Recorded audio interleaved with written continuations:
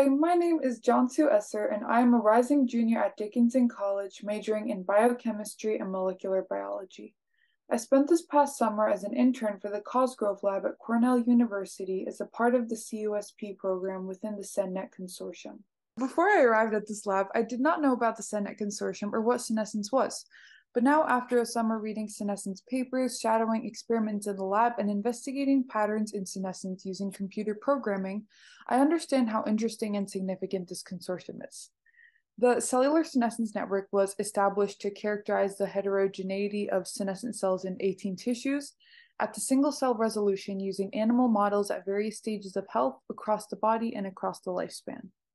The general goal of the labs I shadowed this summer were to map senescence in epithelial cells in skeletal muscle, endometrial tissues, ovarian tissues, and oviduct tissues. My specific goal was an investigation using computer programs such as RStudio to graph and analyze and data and find senescence scores for epithelial tissues in endometrial tissues compared with gene lists consisting of known SASPs and biomarkers. Biomarkers of senescence are important because they help to detect senescent cells and show that senescent cells accumulate at sites of aging associated diseases in aged tissues. Senescence associated secretory phenotypes, or SASPs, as I said earlier, are a component of the senescent phenotype that have evolved to signal the presence of senescent cells to the immune system and promote their elimination. But when senescent cells persist, their SASP becomes detrimental. To provide a quick timeline for my summer, I first started by reading scientific papers and journals, researching and learning about senescence in the SENNET consortium. I then started learning the coding language R through online tutorials. R is used for data analysis and helped me to generate UMAPs, feature plots, and violin plots regarding senescence expression in ovarian epithelial cells. While learning R, I also spent my time shadowing grad students in the lab during various procedures and asking questions about how each procedure was connected to senescence. Throughout the summer, I also completed trainings on proper lab etiquette and familiarized myself with the setting. As an added benefit to the program, I was also able to attend scientific talks and presentations that other REU internships on campus were hosting. Before moving on to the background, methods, and results of my investigation, I wanted to provide a general background about senescence and some of what I learned. So, senescence is characterized by the permanent proliferation arrest of cells. Senescence is known to contribute to impaired tissue regeneration, which can have positive effects, as well as chronic age associated diseases, which can have negative effects. The three main phenotypes of senescent cells are that they enter permanent arrest of proliferation, become relatively resistant to cell death, and develop SASPs. It occurs in response to stressors such as telomere dysfunction, oncogene activation, persistent DNA damage, loss of PTEN, which is a tumor suppressor gene, and the accumulation of reactive oxygen species in tumors, as well as aging. The type of DNA damage that primarily causes senescence are nuclear DNA damage, which are DNA double strand breaks that activate the D DNA damage response pathway, or the DDR. Telomere dysfunction refers to how telomeres shorten after each round of DNA replication and lead to the induction of cellular senescence. An important note to make here about the possibility of preventing senescence due to telomere shortening is using an enzyme called telomerase to promote unlimited cell proliferation, which can also lead to negative impacts. So, uh, looking at the benefits and detrimental impacts, some of the benefits, um, well, before that, I should say that SASPs include pro inflammatory cytokines, growth factors, proteases, receptors, extracellular vesicles, bioactive lipids, extracellular matrix proteases, which can be potential biomarkers for senescence. And SASP favors proper tissue development, tissue repair, inhibition of cancer growth, and recruitment of immune cells. With assistance from SASPs, the presence of senescent cells is beneficial for normal development of tissues and morphogenesis, as well as tissue repair and inhibition of cancer growth. The negative effects, however, are that SASP persistence can generate chronic inflammation, and contribute to aging related diseases and cancer. It can also lead to inflammaging, which is a pro inflammatory condition characterized by high circulating levels of inflammatory molecules. Senescence also limits proliferation of stem and progenitor cells, which are crucial to cell health. Moving on to the next section on the slide, uh, looking at senolytics and senomorphics, which are two important avenues of possible treatment to eliminate senescent cells. Senolytics target senescent cells for elimination, whereas senomorphics modulate properties of senescent cells without eliminating them. Organisms already have an intrinsic senolytic system consisting, consisting of immunosurveillance against senescent cells. Due to a decline in immunosurveillance, senescent cells accumulate in aged and diseased tissues. This means that boosting the ability of the immune system to specifically eliminate senescent cells could result in clearance of senescent cells from tissues. For senomorphics, a way to keep cells alive while eliminating the negative impacts of senescence is by using tel telomeric antisense oligonucleotides to reduce DNA damage repair activation, levels of senescence markers, and SASP induction, which can in turn lead to improved homeostasis and increased lifespan. When comparing senomorphics and senolytics, senolytics are considered better because it eliminates the possibility of senescent cells going through mutations that can help those cells become senescent again or promote cancers in damaged cells. A downside to senolysis is that it gets rid of P16 expressing endothelial cells in aged organs, which have structural functions and can lead to other health problems. Now, moving on to the background of my small investigation for the summer, because I was looking at epithelial cells in the endometrium, tissue from the uterine horn would need to be collected for the specific data I analyzed. During some of the procedures I shadowed, different types of epithelial cells, such as luminal epithelial and glandular epithelial cells, were stained. The reason luminal and glandular epithelial cells were focused on in this lab is because those were the two cells that had Pax8 mRNA, and I'll go into the significance of that shortly. Um, the sample size for the data set I looked at included seven controls, seven early stage, seven mid stage, and three advanced stage mice samples. The UMAP I created consisted of 20 samples by 20,000 genes, and I'll, I will also present the UMAP shortly. Um, okay, so these two images on the left demonstrate the result of some of the staining experiments I shadowed during the summer. TROP2 was used to stain luminal epithelial cells, and FOXA2 was used to stain the glandular epithelial cells. As seen in the figure, the luminal lines the outside of the tissue, whereas the glandular cells are suspended. The figure on the right demonstrates the presence of Pax8 exclusively in the luminal and glandular epithelium. And Pax8 is important because it is a unifying protein driving met metastasis in ovarian tumors in mice that could be developed to treat ovarian cancer in the epithelium. For data collection, mouse models were used, more specifically the doxycycline injected mouse. With doxycycline, the proliferation of tumor cells are inhibited and the stop codon is removed, which allow the Cre factor to be transcribed, and this plays important roles in cell proliferation, differentiation, and adaptation.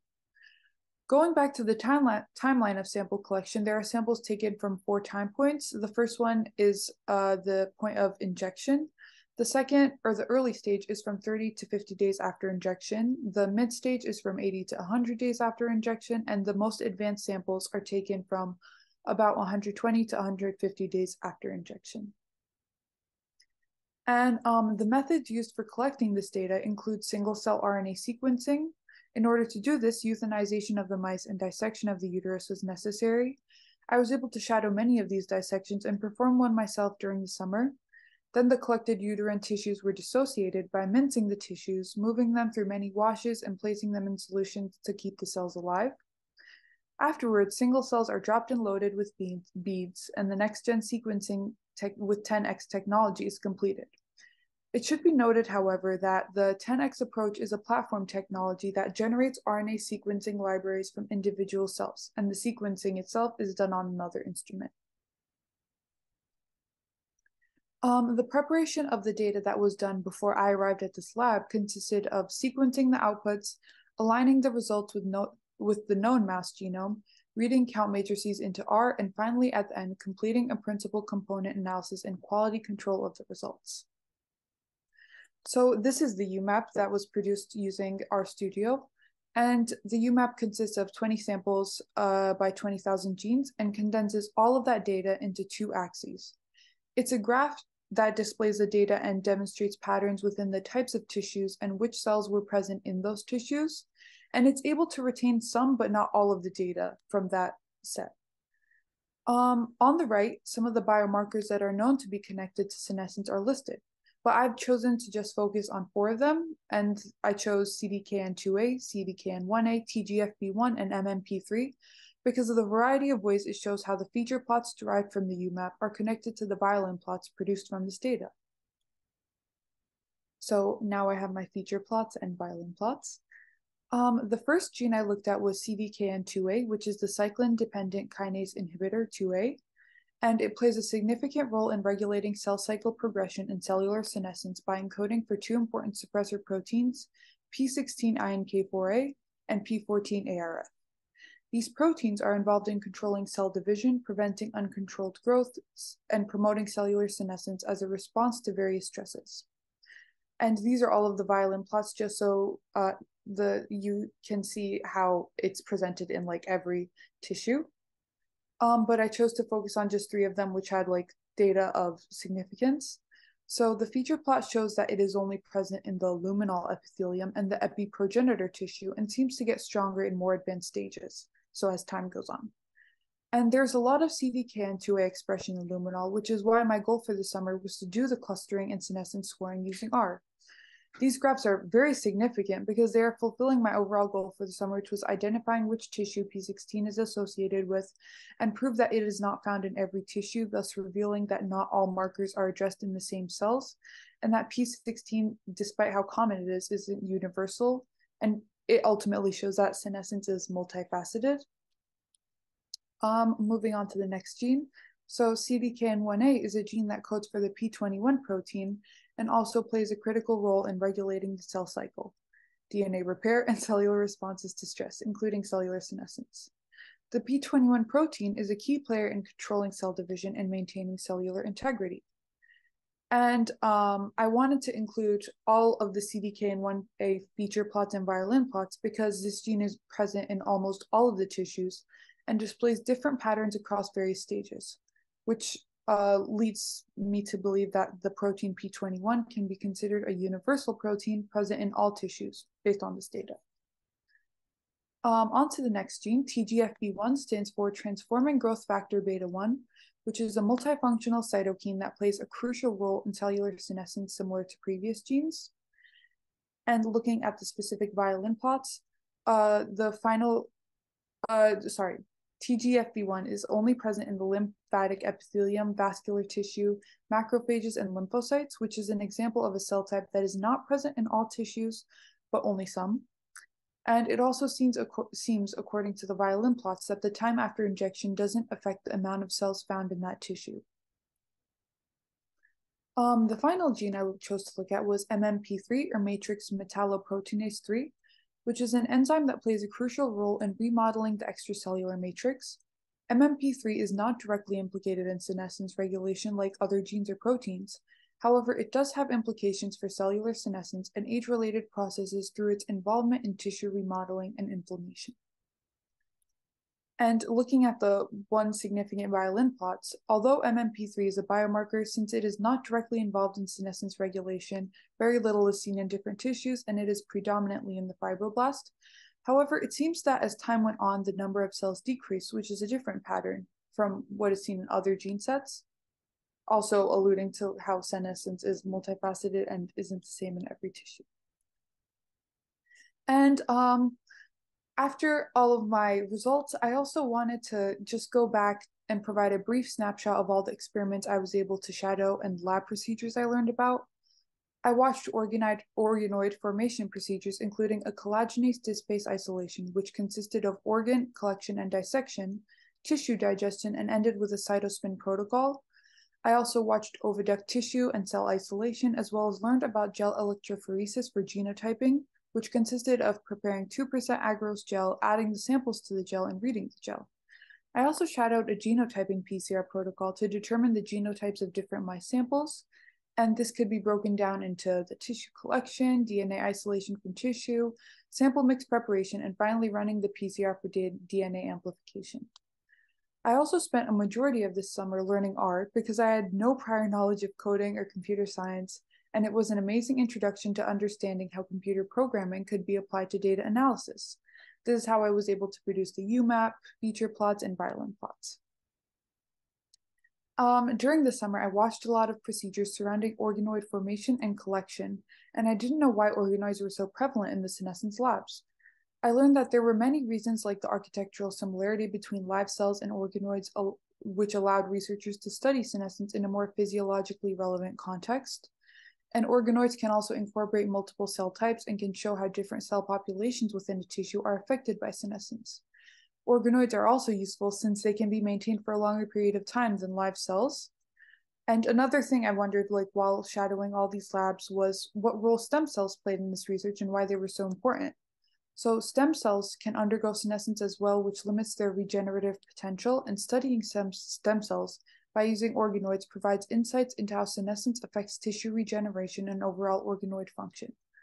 Additionally, stem and progenitor cells are key to maintaining homeostasis and organization following organ and tissue injury.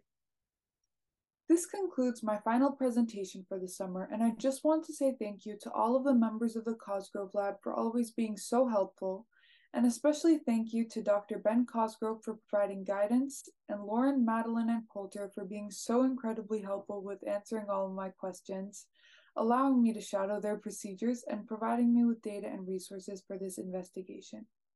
I also want to thank the CUSP program, Elizabeth, Kay, Melissa, and Natasha for helping put together such a wonderful program that changed how I view research and introduced the SenNet Consortium, which is by far the most interesting research avenue I've ever known. Thank you.